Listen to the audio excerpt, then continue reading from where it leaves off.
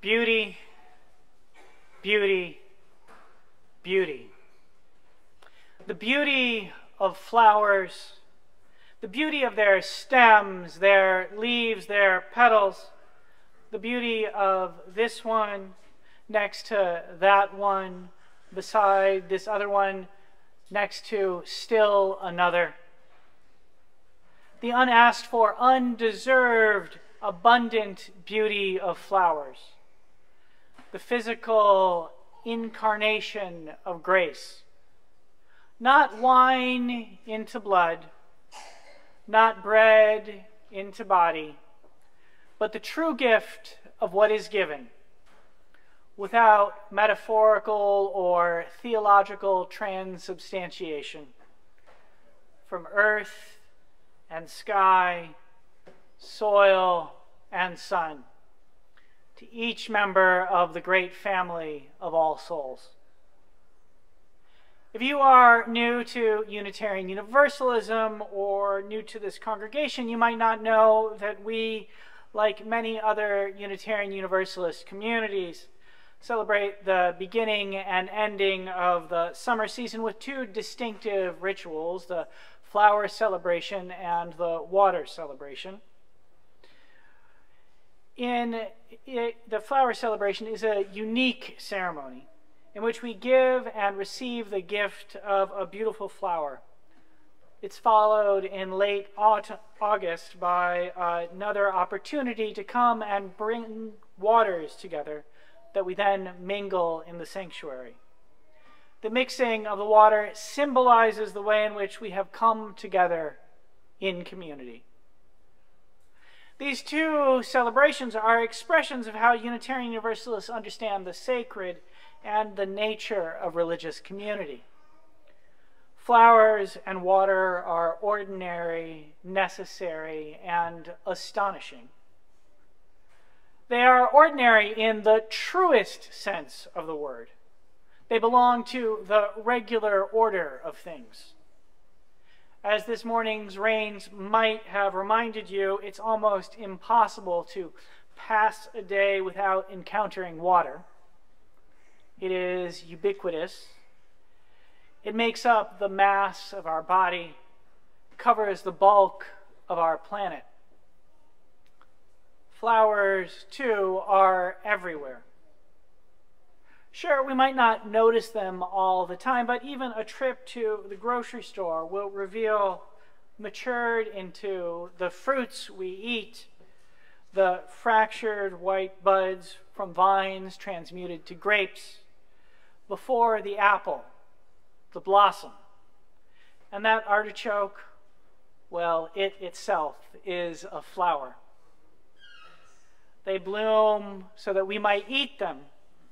Much of the year, they bloom for their own fecund purpose, sparking the seed that carries one generation to the next.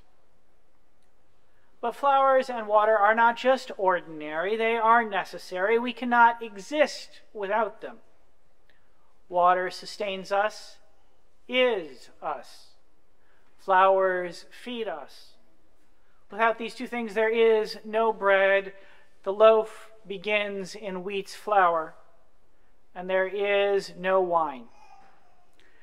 The elements of the Christian communion rely upon human industry for their existence. Ours do not. They are precursor, an expression of our understanding that any particular religion is somehow connected to the universal. Each culture will have its own fruit of the vine, make its own bread, but all necessitate water and flour for their genesis. Ordinary, necessary, astonishing. Ever present as they are, there is something awe inspiring about water and flowers. Listen to a rainstorm Hear terrestrial music as the drops drum the ground. Gaze at petals, each scent of lemon blossom with its soft hint of jasmine. and find yourself reminded again of the beauty that is the earth. Ordinary, necessary, astonishing. We Unitarian Universalists understand that revelation is not sealed. Each and every moment, each and every object, each and every flower contains the possibility of some new truth or fresh experience. It's like our great sage Ralph Waldo Emerson said you too can have an original relation to the universe. That relationship can be found in this flower or that, this vase of water or that. This leads us to proclaim what James Luther Adams named the prophethood of all believers. While many of our congregations have ministers, there is no requirement that a Unitarian Universalist community be led by clergy. Ministers are not understood to have any special relationship to the divine that is unavailable to the laity.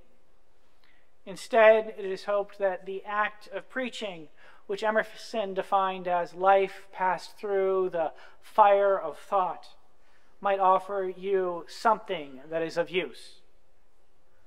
The reverse is true.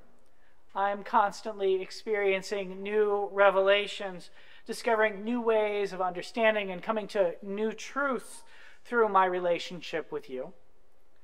Sometimes this happens through the practice of dialogue and discussion that is such a habit within our community. In my conversations with you about the eighth principle, to offer one example, I've deepened my own thinking about the work of dismantling white supremacy and other kinds of oppression means one thing I've learned to make a commitment to anti racism up in the north, and another to make one here in the south, in the neo Confederate south. Here we find ourselves beset with the question of living our faiths in the face of the politics of cruelty. How can we act? We are called to ask to dismantle oppressions which which the cruel whom govern the state are so assaulting so many of us with. LGBTQ communities, particularly those whose members are transgender, are targeted.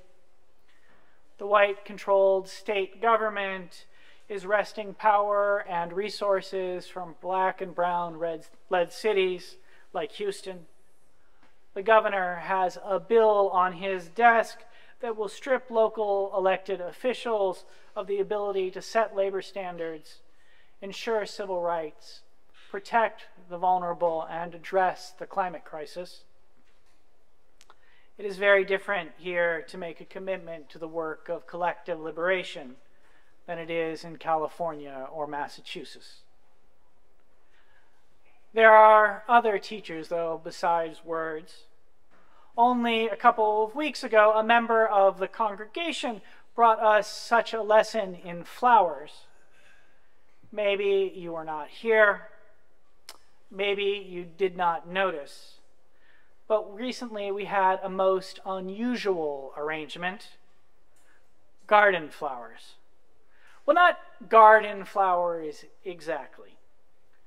Good garden things organized into a bouquet arugula going to seed, kale, mustards, red chard with its ruby red veins, and purple spiked chive flowers.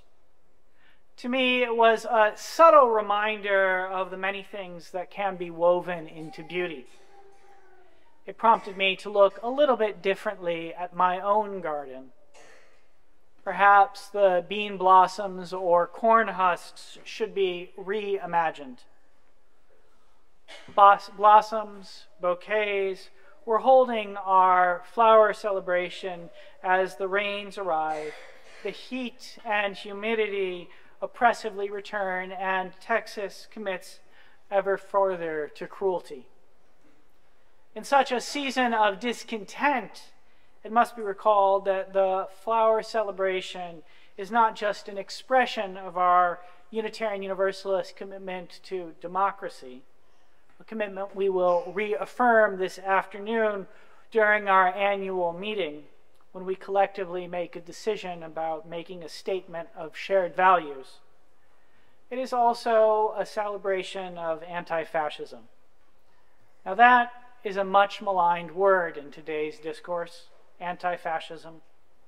But anti fascist was what Norbert Čapek, the originator of the flower communion, was. And he conceived the service along those lines.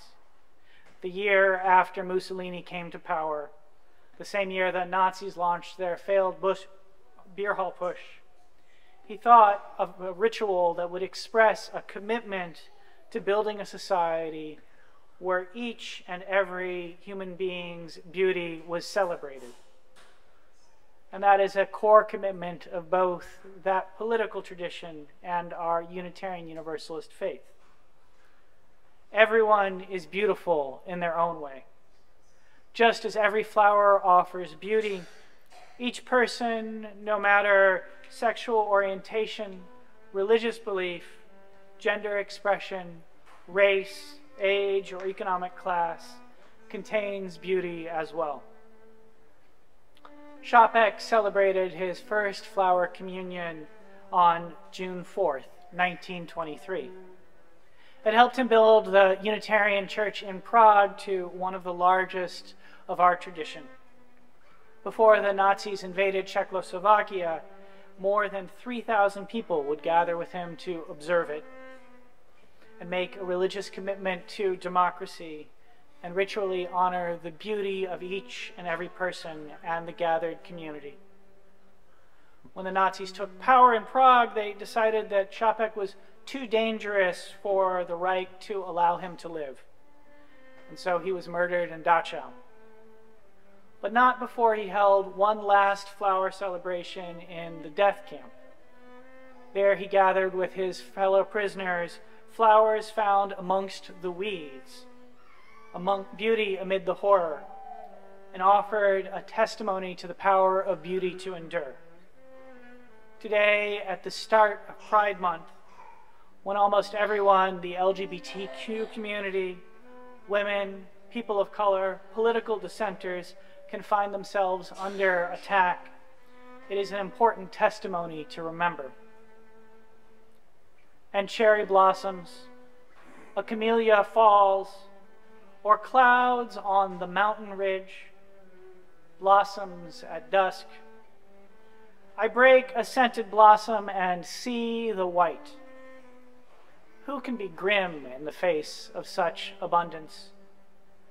There is nothing to compare, no need for beauty to compete. Beauty, the prophethood of all believers, Revelation is not sealed. This morning, this 100th anniversary of the flower celebration, let us give thanks for Čapek's vision of a democratic religious communion. Let us give thanks for his vision of our faith. But more than that, let us give thanks for the beauty within and around us. It is found in flowers, yes but it is also found within you, and within you, and within you, and within you, and all who gather together to commit to build a more beautiful world. May that beauty grow ever stronger and more present amongst us. And may the congregation say, Amen.